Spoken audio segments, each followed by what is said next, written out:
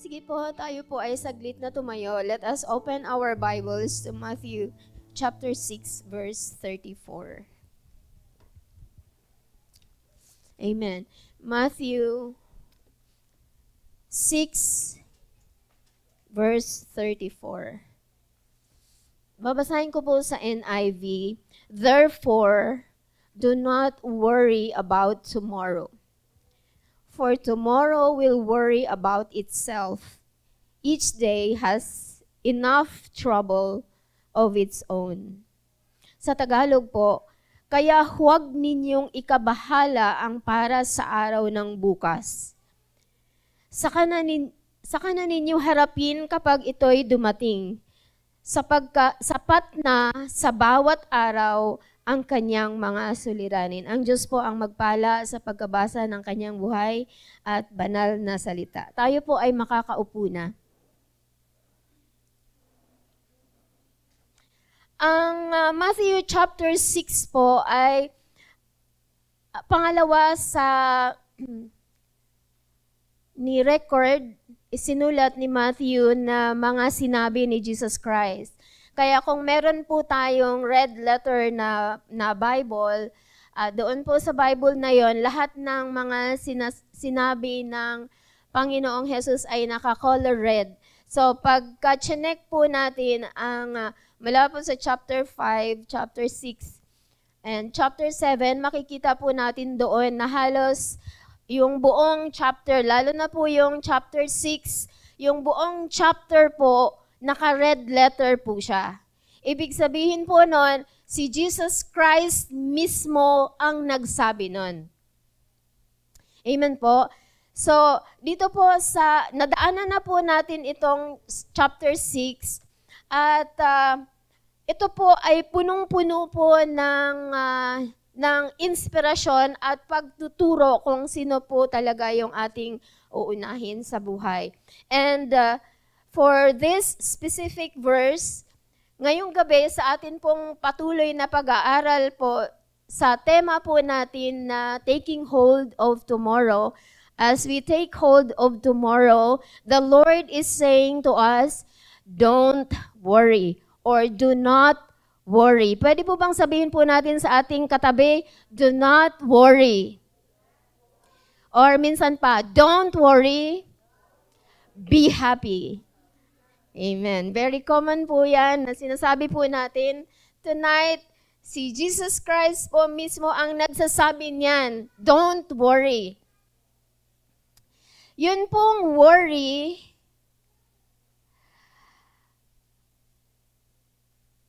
uh, yung pinanggalingan po ni, niya ay isang luma na verb na ang ibig sabihin po ay to be divided, distracted.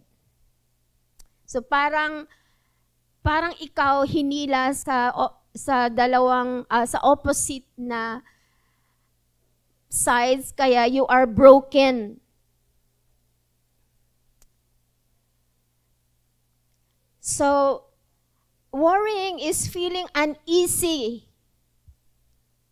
being overly concerned about a situation or problem. Mas mabigat po yon kapag, ka, pagka, uh, lalo na po kapag kaalam po natin na tayo po yung uh, cause. No, meron po tayong mga maling decisions or uh, uh, maling hakbang So, parang napakahirap po harapin yung bukas. Kung hindi natin alam, ay, uh, hindi natin ma-imagine kung paano po natin, ano po ang gagawin sa uh, mga susunod na araw. Amen po? Siguro po nakaranas naman po tayo kung, kung papaano po tayo uh, uh, nagbo-worry. Amen po? that uh, tayo po ay napakadaling, uh, ang tao ay uh, madaling uh, mag-alala, mabalisa. Amen po. Uh, merong mga tao na extreme na talagang wala nang nagagawa kasi ang iniisip po nila ay kung ano na yung mangyayari bukas. Amen po. Pero yung uh, mangyayari bukas, wala po tayong magagawa po doon. Amen po? Meron tayong magagawa sa ngayon, pero bukas, saka na lang natin siya iisipin kapag ka nandoon na po tayo. Amen?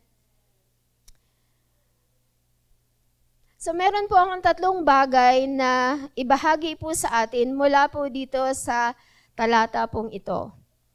Una po,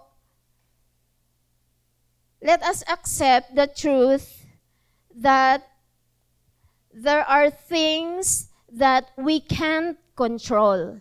Amen po? Lalong-lalo na yung mangyayari bukas.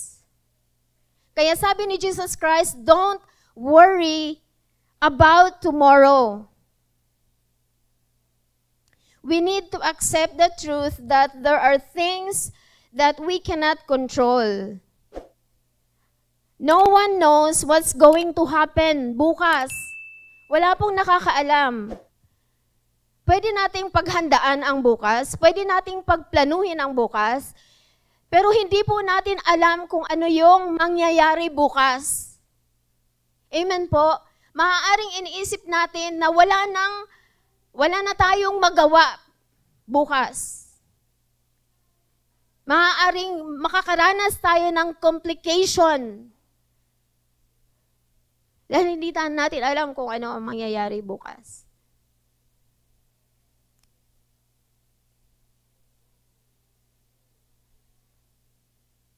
Naalaala ko po yung yung ano, nung nalaman ko po na yung, yung SSS ko pala, ay hin, noong hinulugan po siya, noong nag-umpisa po ako na nagtatrabaho doon. Pero, yun na po pala yung huli. Ako po, masyado po akong confident na Siyempre, matagal po akong nagtatrabaho doon masyado po akong confident na mahal mo sa buhay to, hindi, hindi ka lulukuhin ito.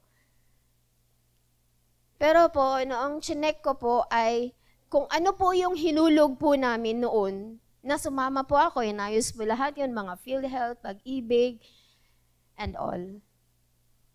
Yung, yung, yung binayad po pala na yun ay last na din pala siya. So in other words, yung lahat ng syempre, merong kakaltasin doon sa ano mo, sa sahod mo. Lahat na 'yon parang wala lang nangyari. Nung nalaman ko po 'yon, dahil magsi-60 na po ako noon. Paano ko siya nag, nag-worry, nag-worry po talaga ako. Paano ko po siya hulugan? Wala na, 60 na. Magsi-60 na ako. Ilang, ilang araw na lang. 100 days. Kaya po, mukha pong nag-alala ako. Pero alam niyo po ba, inaliw po ako ng Panginoon. Kasi hindi lang naman SSS ang pwedeng magbigay sa'yo ng pension. Kaya po, nanalangin ako sa Panginoon at alam ko na inihanda na ng Panginoon yung pagka hindi na ako uh, makakilos, pagka ako ay matandang matandaan. Pero ang tendency po sa atin, na napakadali ko pong mag-worry.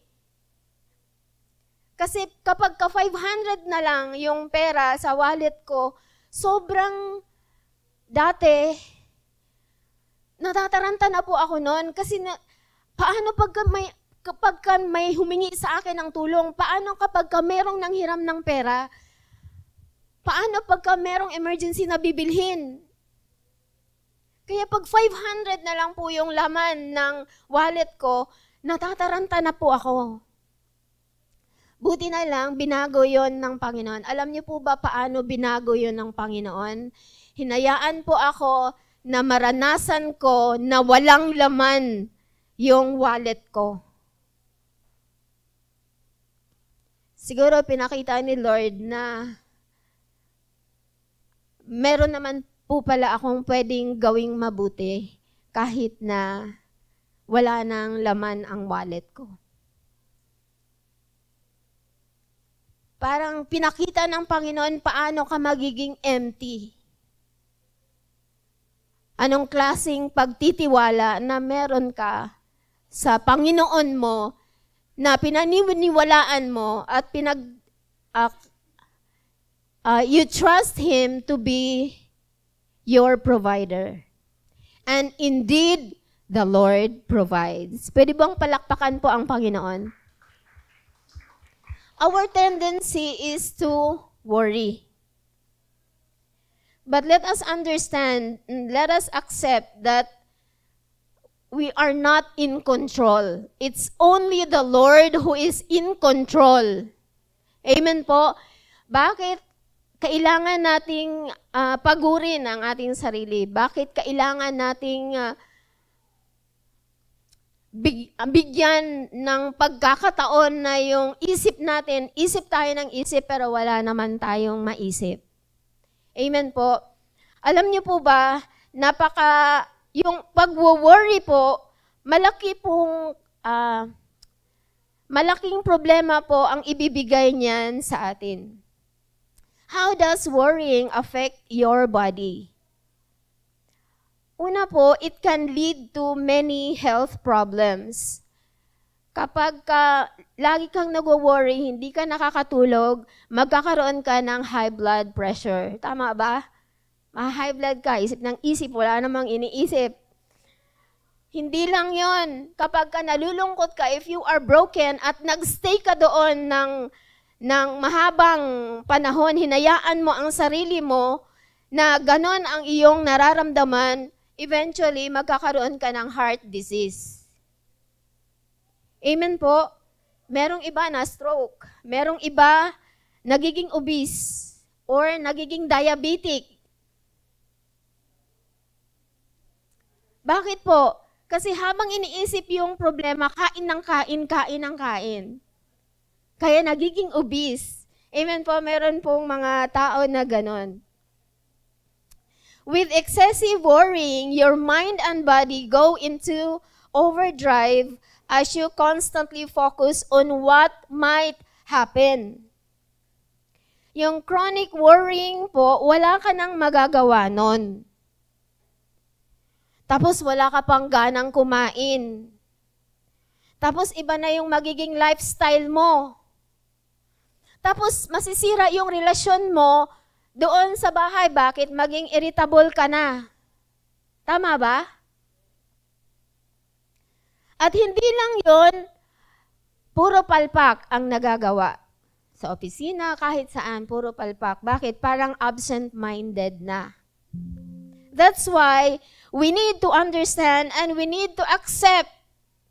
Sabi doon, therefore do not worry about tomorrow. Sabi ni Jesus Christ. Because we don't control tomorrow. We cannot control. Ang Diyos lang ay ang may control sa ating bukas. Amen po? Amen? Pwede po bang palakpakan po natin ang Panginoon? Ang sigurado lang po na alam natin, bukas, merong mga panibagong hamon, merong mga panibagong problema, merong panibagong struggles, meron ding mga opportunities. Pero isalig po natin sa Diyos ang bukas. Amen po? Amen po? The Lord will teach us kung ano po ang ating gagawin. Ang atin pong intindihin, paano yung ngayon? What is, what miracle or what is the Lord doing in your life right now? At iyon po yung ating i-appreciate. Amen po? Hindi tayo hindi po tayo magfo-focus doon sa hindi po natin kaya. Dahil hindi naman talaga din natin hawak. Ang Diyos lang ang may hawak sa ating kinabukasan. Amen po? So, ang suggestion po dyan is to give our entire attention to what is God doing sa atin pong ngayon. Amen po? So, yung una po, we need to accept that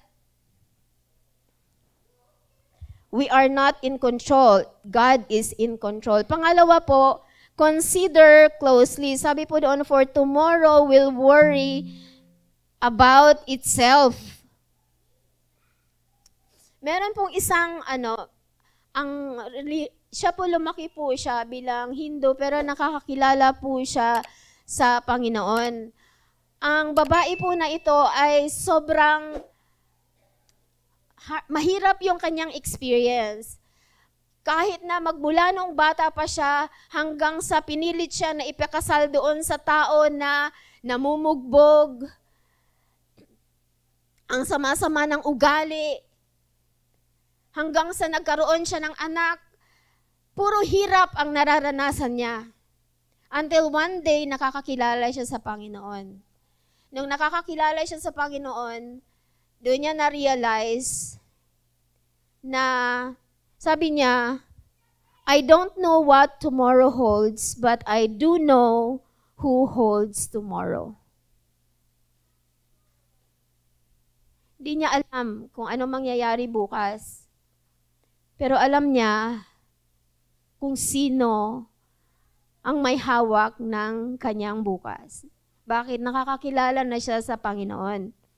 Yung ibang tao, gagawin nila the best nila, magpapakapagod sila in preparation for bukas. Pero alam niyo po, kapag tayo ay nasa Panginoon, ipinagkatiwala lang natin sa Panginoon ang bukas.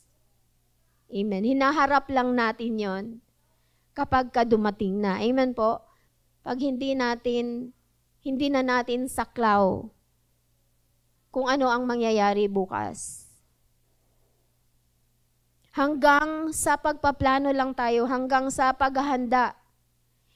Parang sa pagbabalik na natin alam kung mamayang gabi na yon, bukas na yon, sa susunod na araw na yon. Meron lang mga mga signs pero our responsibility is to just prepare. Plan and prepare. Sabi doon, for tomorrow will worry about itself. So pag-isipan po nating mabuti, huwag po tayong manatili. Oo, merong mga bagay na nagwo-worry tayo. Pero iba na yung you are distracted. Iba na yung distracted ka na. Yung iba na yung iniisip mo, iba na yung ginagawa mo. Hanggang sa nagkaroon na ng anxiety. Noong linggo po, nakausap ko po yung isang naranasan po niya na meron siyang anxiety. Ang tagal na po niyang naging leader pero isang araw, meron pong nangyaring problema sa kanya na siya mismo hindi na niya maisip kung ano ang gagawin. Tapos wala po siyang kakampi. Bakit? Kasi sinisisi din siya ng miyembro ng kanyang pamilya kung saan na, ano na ang nangyari. Hanggang sa isang araw, nakita na lang niya ang sarili niya na nagkaroon na siya ng anxiety gusto na niyang magpakamatay. Dinalaw po siya ng pastor. Siguro sa frustration niya, sinabi na lang, sinabi niya sa pastor na hindi kita kailangan. Hindi makakatulong sa akin ang sasabihin mo. Bakit po? Doon sa sitwasyon niya, parang wala na siyang pinagkatiwalaan. Pero buti na lang po, meron pong isang bagong nakakakilala sa Panginoon. Sinabihan, sinabihan po siya, ako, na ano pa nga siya, yung, yung nagsabi sa kanya na, na rehabilitate. Kasi nga, nasiraan na talaga ng bait.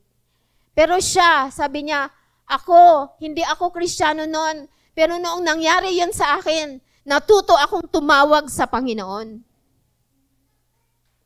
Sabi niya, ikaw din, matagal ka ng kristyano, dapat tumawag ka lang sa Panginoon. Doon po siya nagising. And from that time on, bumalik siya sa Panginoon. Tumawag siya sa Panginoon. And, kinomfort siya ng Panginoon. Hindi lang yon inayos ng Panginoon yung naging problema niya. Nang hindi siya nagbabayad. Alam niyo po, pag inayos po yung, yung sa kaso niya, malaki po ang ano nun, professional fee. Napakalaki po ng professional fee. Pero, yung nag-service sa kanya, nung nag-service sa kanya, libre. At big time pa yung tumulong sa kanya. Kasi iba yung paraan ng Panginoon.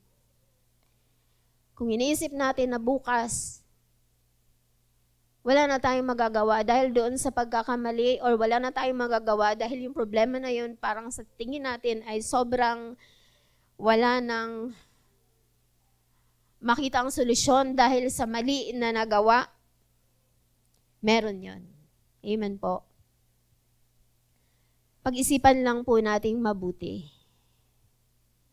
Concentrate po tayo doon sa nagawa na at sa kasalukuyan na ginagawa ng Panginoon. Kasi kung, maran- kung nararanasan natin yung paggawa ng Panginoon before at yung mga ginagawa niya sa buhay natin ngayon, tiyak bukas merong another miracle. Amen po? Pwede po bang palakpakan po natin ang Panginoon? Walang imposible sa Kanya. Oo, ang nature po natin ay mag-worry. Pero ano ang sinabi ng Panginoon? Magtiwala sa Kanya. He asked us to trust Him enough.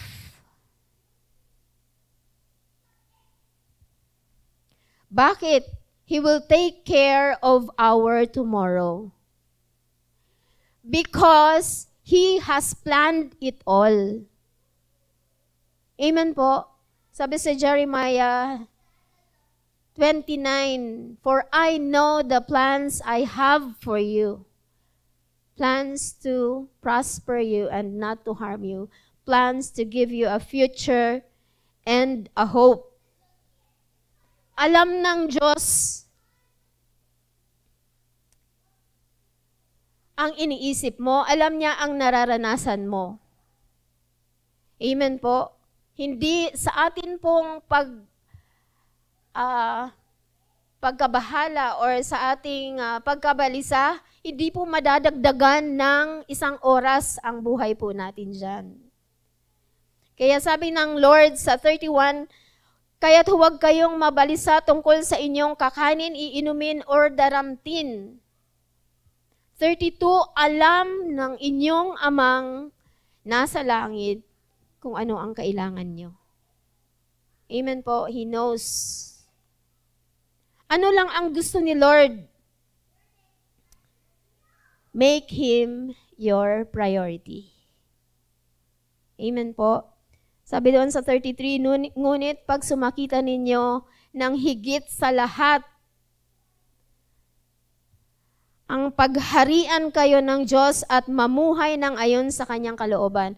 At ipagkaloob niya ang lahat ng kailangan ninyo. Amen po. Amen po. The Lord will provide.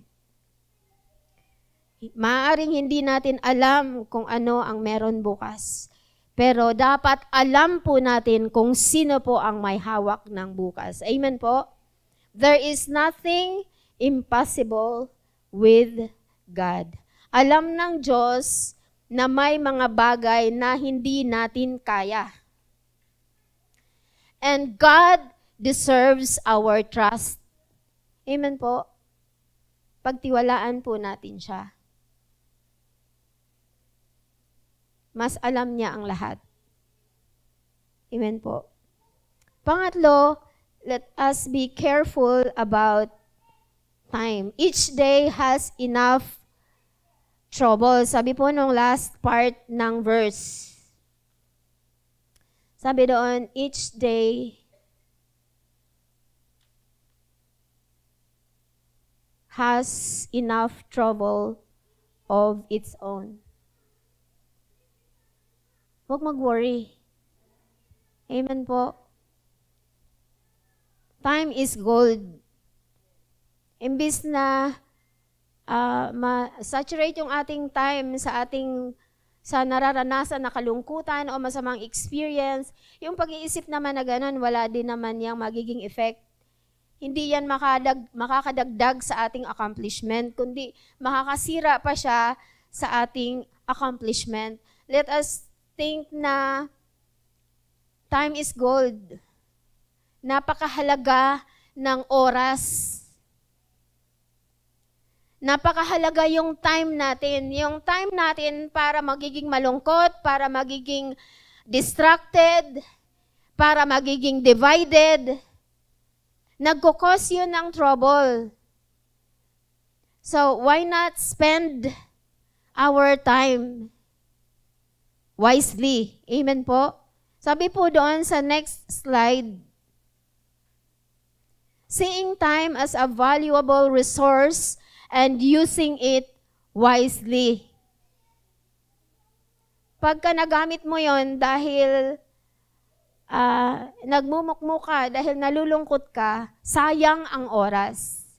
Meron pang pwedeng gawin ang Panginoon, meron pa siyang himala na pwedeng iparana sa'yo, pero hindi nangyayari. Bakit? Kasi sinayang natin ang ating oras. Time is gold. Gamitin po natin ito wisely. At alam po na dapat natin kung ano ang ating i-prioritize sa buhay po. Amen po? Amen? Huwag, huwag nating sayangin ang ating oras. Doon po sa next slide, sabi po doon, seeing friends and family as precious gifts from God and treating them right. So bakit hindi na lang natin, uh, imbis na manatili ka doon sa sitwasyon ng kalungkutan mo, bakit hindi na lang tayo lumabas, magmisyon. Tingnan yung iba. When we see uh, the problem of other people, doon po natin maisip na meron pang mga tao na mayroong mas mabigat na problema. At kahit meron kang problema, ikaw pala yung makakatulong sa kanila. Amen po? Amen po? That is being wise of our time. Kahit na, di ba, na, naisip niyo po ba yun? Minsan po, nararanasan po yan ng mga nagmimisyon. Yung mismong nagmimisyon, may mga problema na hinaharap na hindi alam kung ano ang gagawin doon sa mga problema na yon. Pero dahil time ng mission, kaya pumupunta sa mission. Doon po sa mission, meron pong mga tao na humihingi ng panalangin dahil sila po ay maraming mga problema. Meron silang may maraming iba't ibang mga problema. Doon mo ma-realize na ikaw, kahit malaki yung problema mo, ikaw pala yung makakatulong din sa kanila upang sila ay gumaan ang kalooban doon sa mga problemang nararanasan nila. That is being wise of your time. Amen po. That's why hindi mo mamamalayan na ikaw naka-recover na. Amen po. Ikaw ay uh, inayos na ni Lord. Ang mangyayari bukas, hindi mo namamalayan. And parang ano yon hitting two birds in one stone. Ikaw, ito yung nararanasan mo, pero, pero ikaw pa yung nakakatulong. Yun ang gusto ng Diyos. That is being wise of us being people who really trusted the Lord. Amen po. Yung ganun pong gawain, yun po ay tunay na nagtitiwala lang sa Panginoon na, hey, oh, ito yung problema ko. But then, I can pray for others sa kanila pong mga problema. Hindi po, wala po tayong magagawa sa kanilang mga problema, pero natulungan po natin sila na, na magtiwala sa Panginoon. At natulungan din po natin ang ating sarili na lubusang magtiwala sa Panginoon. Amen po. Kasi sa bawat sitwasyon ng buhay po natin, meron po meron pong nagagawa ang Panginoon kapag tayo ay nagtitiwala sa Kanya. Amen po? Trusting God because He deserves our trust. Wala na pong mas nakakaalam. It's only God who knows best siya lang nakakaalam kung ano yung best para po sa bawat isa sa atin. Amen po? Amen po? So, napaka-simple lang po nung ating pinag-aralan ngayong gabi, pero nawa po uh, we are able to manage. Or kung meron po tayong mga uh, mga nakasalamuha na na hindi po sila makarecover. Na, naalaala ko po yung nasa pitpitan po kami, meron po isang dalaga doon na teacher po siya, pero for how many months, hindi na po siya nakapagturo. Kasi po, ano po siya, nagugulumihanan po siya. Noong lumapit po kami sa kanya, lagi niyang sinasabi na wala na siyang magagawa. Siya ay siya ay wala ng silbi. Alam niyo po, wala na po akong silbi. Wala na po akong magagawa. Wala din po akong magagawa sa buhay ko. Parang hindi po namin siya alam, papaano po hindi. Hanggat buhay ang tao, meron siyang magagawa. Hanggat buhay ang tao, meron siyang pakinabang. Sabi ko, very special ka. Pero parang siya, parang iba na yung nagda-drive po sa kanya. Kaya po nagtulong-tulong na po kami na ipanalangin po siya para bumalik po siya sa kanyang uh, maayos na pag-iisip. Sapagkat talagang ano na siya, bumigay na siya dahil hindi ko alam kung bakit niya paulit-ulit na sinabi na wala siyang silbi. Napakaganda naman niya. So merong ganon. Dahil Iba yung nagtitiwala ka sa Panginoon. Amen po? Kaya iba yung mga Krisyano, iba yung merong faith. Kasi yung walang pananampalataya sa Panginoon, they are going to do things with their own strength lang. Yung bukas nila sa sarili lang nilang pagsusumikap. But tayo bilang mga nagtitiwala sa Panginoon, iba. Amen po? Iba po yung ating uh, uh, experience, iba po yung ating uh, trust na ibinibigay sa Panginoon. Kasi siya lang ang merong pwedeng gawin sa buhay po natin. Amen po. Na mga bagay na nakakabuti para po sa atin. Amen po. Lastly, God wants us to prepare for tomorrow, but to live for the moment. Live one day at a time. Amen po? Live one day at a time. Kahit alam po natin na merong uh, merong problema, merong mga difficulty, eh, wala naman tayong magagawa doon eh. Not unless merong gagawin ang Panginoon. Tayo, gagawin lang natin kung ano yung makakaya natin na gawin ngayon. At kung ano yung gagawin natin bukas, ang Diyos na po ang magtuturo po sa atin. Amen po. Let us live one day at a time. Tayo po ay manalangin.